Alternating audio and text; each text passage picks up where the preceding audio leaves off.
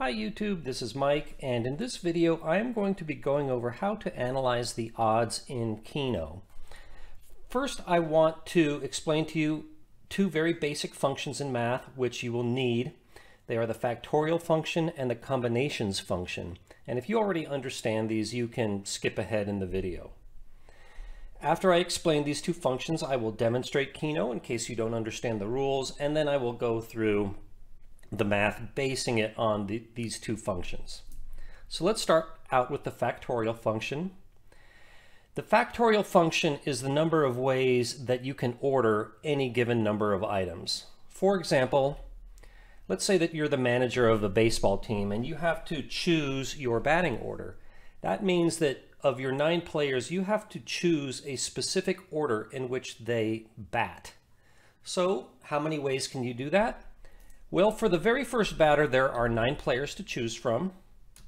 Let's say you pick the shortstop. Now for the second player, there are eight players left. Let's just say you pick center field. So you multiply nine times eight. Nine for the first batter and eight for the second.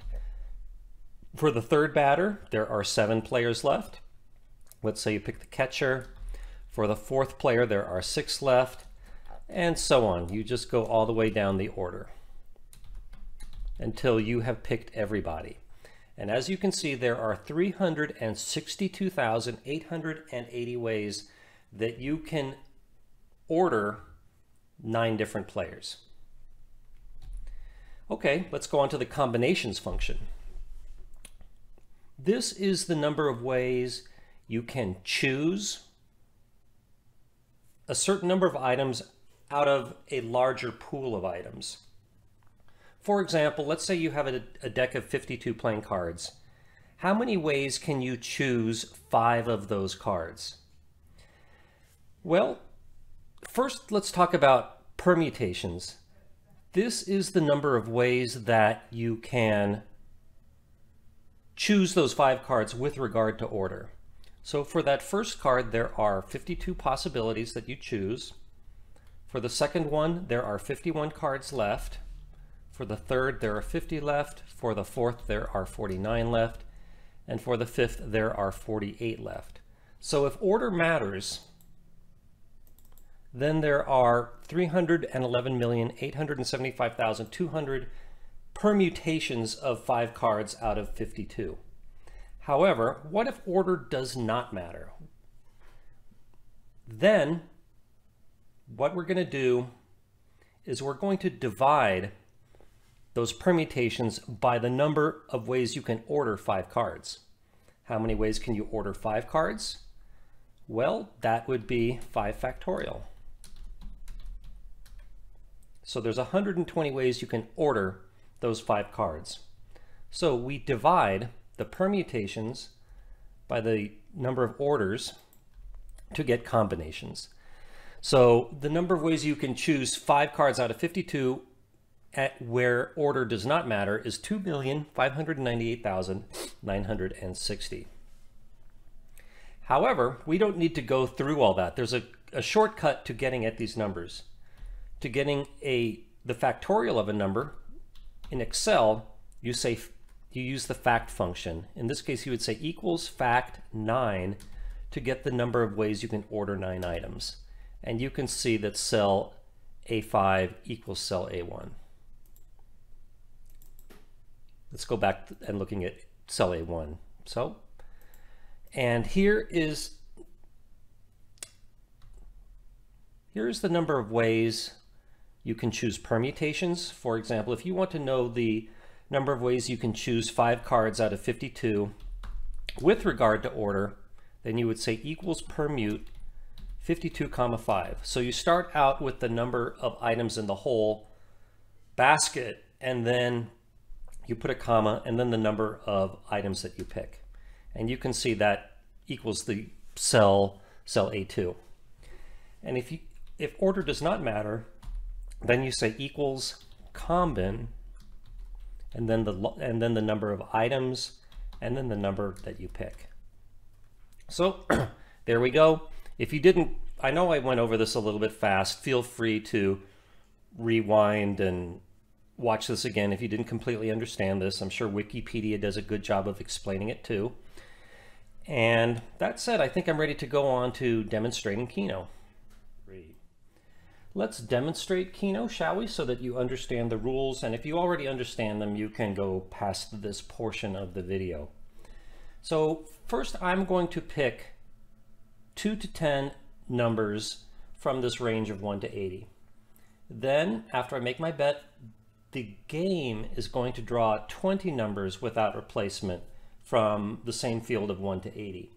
And I am going to win according to the number of numbers that I picked that match the game's draw.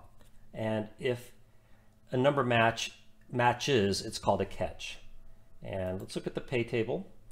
Here it is right here. It shows the number of spots that you picked along the top and the number of catches along the left row. For example, if I picked eight numbers and matched five, I would go down eight here and across five, and I would get paid six four one. And four one means that if you get that win, that you don't get your original bet back. And games that are electronic do tend to pay on a 4-1 basis. So let's go back to the game and let's pick let's pick nine numbers in the middle here and play. So I'm just betting one coin and I pick my numbers and this is the game's draw. So I caught only one number, number 15. I need to catch at least four to win anything. So let's try again. So here I caught three. Again, that doesn't win anything. I caught only one. So let's speed this up here. One catch, zero catches, three catches, one catch, three catches, two catches. Yay, finally I win something. And actually I didn't really win, I only broke even, I only got my original bet back. But they mark the game's numbers in red so you can see that I caught number 16, 26, 27, and 35. So let's, um, and by the way, you can also, how do I do this? Um, you can also change your numbers at any time. And you can also have the game pick them for you. So here it picked three because the last time I picked three. Let's say I wanted to pick nine. So I would pick nine, erase them, and then the game would pick nine randomly. So let's go back to Excel and I'll show you how to analyze the odds in Keno. Three. And we are back at Excel to work out the odds in Keno.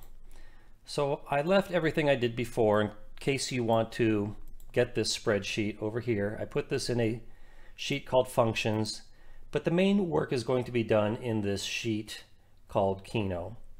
And to save time, I already put in the game's pay table. And by the way, what you see in the casino, these pay tables can vary according to how liberal or stingy the slot manager wishes to be. Over at videopoker.com, they tend to be very liberal. So next let's work on the combinations and this is the heart of the whole analysis. So let's blank this out. So again, we still have our pay table up here. Okay, for example, let's say that you pick seven numbers and catch three. How many ways can you do that? There's different ways you can do this, but the way I prefer to do it, the way I prefer to think of it, is that the the game picked, or should I say chose, 20 winning numbers. How many ways can the player pick three of those? There are 1,140. However, that's not the end of the story. The player also picked four losing numbers.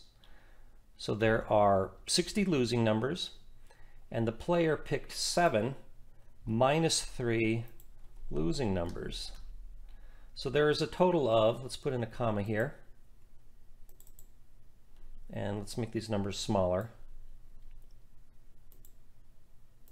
So there are 555,903,900 ways the player can pick three winning numbers out of seven. And now let's, I'm not sure what the word for this is, but let's make this safe to copy and paste. So the number of winning catches is always going to be in column A, so I put a dollar before the A. And the number of picks is always going to be in row 20, so I put a dollar before the 20. And now I'm going to copy and paste this through the whole table. And let's make the numbers smaller again. And smaller again so I can see all of them. Well, let's, uh, let's shrink these smaller numbers so we can have more space here.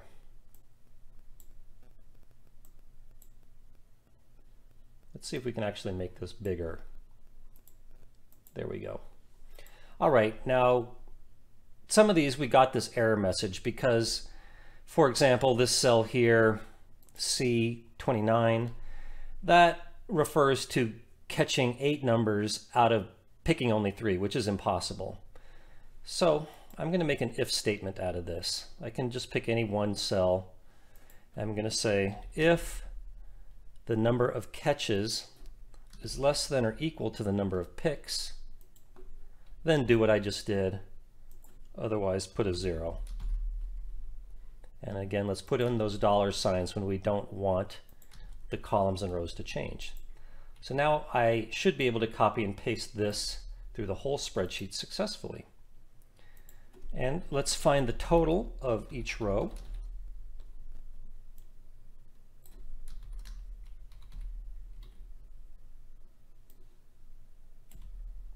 And again, the font size is too big. So this font size is 9, so let's go to a 9. There. And let's make this a little bit bigger.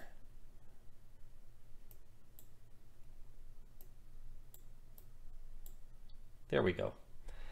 Okay, so these are the all the possible combinations for any number of picks from 2 to 10 and any number of catches from 0 to 10. So this was the, the heart of the whole problem. But let's finish it up here. Next, let's work on the probabilities. This is really quite easy. Let's blank this out. So the number, the probability of any given event, let's look at the number of ways to catch three out of seven again. So we look at the number of combinations for three out of seven and we divide it by the total number of combinations for picking seven numbers. And I'm going to put in a dollar here for the 32 because the total column is always 32. And I can copy and paste this.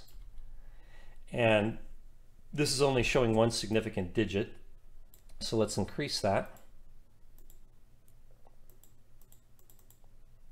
So this shows the probability of all possible outcomes for all possible number of, of picks. If you prefer percentages, we can do that. But I like probabilities expressed from 0 to 1. And by the way, I was thinking that why don't I verify these numbers for you? For example, picking what's the total number of ways that you can choose seven numbers out of 80? That would be combin 80, comma, the 7. And you could see that that matches my total. And let's copy and paste that down just to make sure we did it right. So there's our verification. Okay, so we're ready for the last step. Again, let's just copy and paste this formatting down, the return. So let's blank out the body of the table.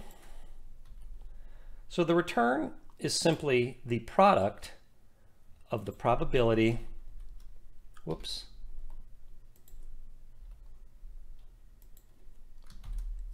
times what it pays.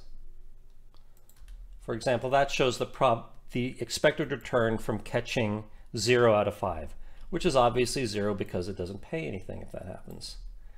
But I can copy and paste that formula down and voila, there is the contribution to the return for all possible picks and catches. For example, let's look at a, a pick five game. If we catch zero, one, or two, that's a loss. Thus the contribution to the return for all three of those is zero. If we catch three, we get paid three for one. So three times 0.083935 is 0.251805. And by the same logic, about 15.7% of the return comes from catching four and 54% comes from catching five. And this total column shows the sum of all the ways you can win in this game. And you can see that the, the returns are pretty close to 95% in all cases. So let's see what the maximum is. So the maximum return of the game is 94.99%, which comes from the pick six. And by the way, in the actual casino, the real casinos tend to pick returns usually between 88 and 92%. The stingier casino, obviously the lower it will be. Be especially beware of any games at the Las Vegas airport. That Those will go all the way down to 85%, which is the lowest setting the game maker machines have. So I can't think of anything left to say. I love to keep talking, but I'm out of things to say about Keno. So thanks for watching this video, YouTube. Thanks for making it to the end. If you liked it, please uh, thumb me. Better yet, subscribe to my channel. At this point, I've already done videos on craps math and SICBO math, so please check those out if you're interested in those topics. And I plan to make more math and gambling videos soon. So again, thank you for watching, and I'll see you in another video. Bye.